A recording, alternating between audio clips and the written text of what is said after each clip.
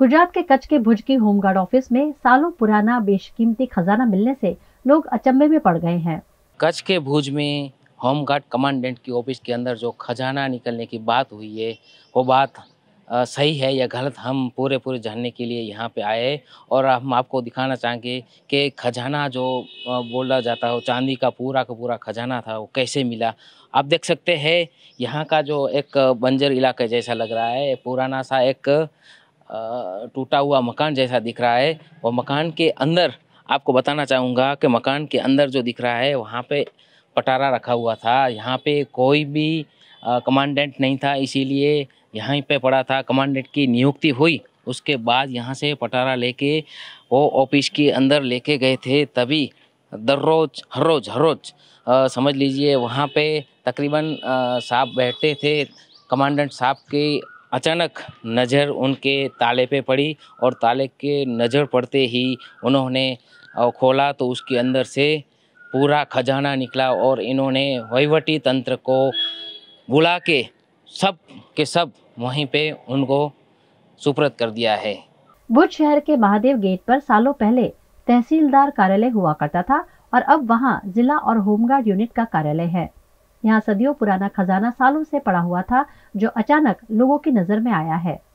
यहाँ टेबल जैसे एक बड़े से बक्से का ताला जब तोड़ा गया तो पता चला इसके अंदर तो सालों पुराना खजाना रखा हुआ है, जिसकी जानकारी जिला होमगार्ड कमांडेंट मनीष बारोट ने प्रशासन को दी। जाँच करने पर पता चला कि 2001 में आए भूकंप के वक्त ये बक्सा किसी ने यहाँ जमा करवाया था, जिसके अंदर चांदी की वस्तुओं के साथ साथ बेशकीमती वस्तुएँ भी हैं। जो राजा महाराजाओं के युग की हैं।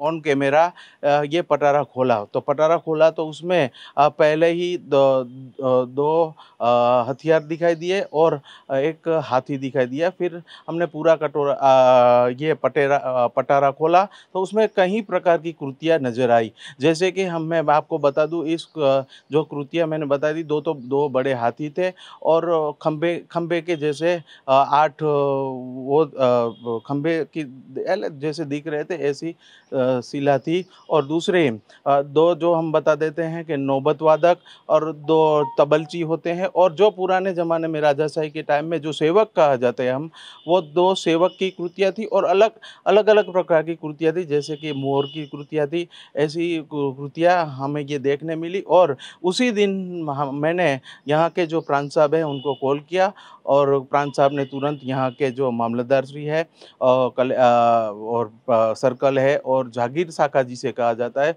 उनके क्लार्कों को भेजा और हमारी ये ऑफ़िस को उस दिन सील कर दिया गया और दूसरे दिन जब सब हम मेरी और मामलेदार की के साथ मिलकर हमने यहाँ पंचनामा किया तो करीबन 20 अलग अलग प्रकार की यहाँ पर जो एंटिक चीज़ कहा जाए और चांदी की जो कहा जाए वो मैंने मामलेदार श्री को सुप्रत किया।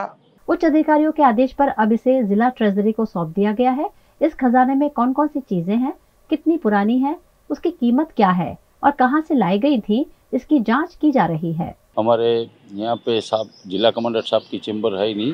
जिला कमांडर साहब की चेंबर हमारे यूनिट कचहरी में रखी थी। और यहाँ पे बैठने के लिए कुर्सी वगैरह थी, लेकिन टेबल नहीं थी। इसलिए यहाँ पे जो कचरा का डग पड़ा है, वहाँ से हमने एक बक्सा उठाया, पटारा, पुराना, और वहाँ पे रखा है। वहाँ पे रख के साहब ने देखा कि इसमें तो ताला भी खुला है। साहब ने देख के वहाँ पे हम लोगों को बुलाया और उसने ये सब बताया खजाना। 2001 भूकंप के समय यहाँ पे ऐसे बोला जाता है कि पुराना जो पटारा था, वो रखा हुआ था और उसमें से वो पुरानी चांदी का हाथी वो सब निकला हुआ है। जो बात चल रही है कि होमगार्ड कचहरी में से एक खजाना मिला है। एक्चुअली द्वारका नाथ जागीर यहाँ पे है। जिसमें एक झूला यूज़ होता था जनरली साल में एक बार। वैसे पूरा ये लकड़े का बना हुआ है और उस पर चांदी का वर्क है।